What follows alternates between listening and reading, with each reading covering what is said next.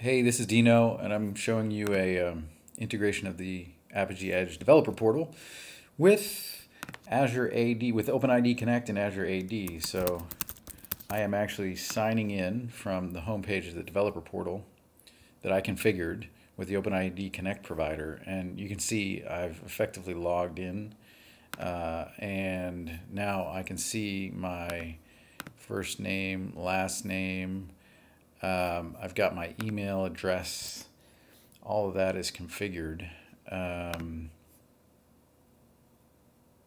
and I've also got my, um, my apps associated to that uh, user ID. Okay, so this is from the user perspective. And then when I log out, um, I just log out and I can log in again. Flipping over to the administrator, if I go into uh, first, I need to I need to go into uh, the modules uh, panel and look for OpenID Connect, and you'll see OpenID Connect is enabled. Uh, I've already enabled that. I've done the git push that's required. And then what I want to do is configure it. So I'll select that. I can also get to the same panel by using configuration, web services, OpenID Connect. All right. So in there, I can put my client ID and client secret. It's a little bit confusing uh, to uh, figure out exactly what that is, and to to uh, eliminate that confusion, I went to uh, and followed along this guide, which is called Developer's Guide to Auth with Azure Resource Manager API. And it talks about exactly what you need to do in um, the Azure Administrator to get uh, administrative panel to get the client secret and so on, which I can also walk you through. All right, so client ID, client secret, uh, and then the authorization endpoints. And that, once you've configured, uh, you can see the endpoints here. Um, we've got the token endpoint and the authorization endpoint. Those are the important ones. Okay, so I've done that.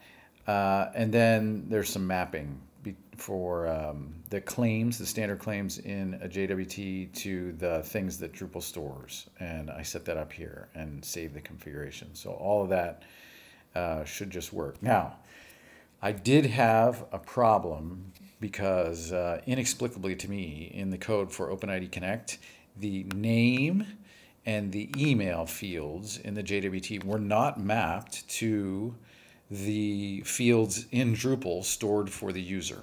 In other words, we did have mapping for given name to uh, the JWT given name to Drupal first name and the JWT family name to the Drupal last name for the user, but not for email to email and name to name. I don't know why.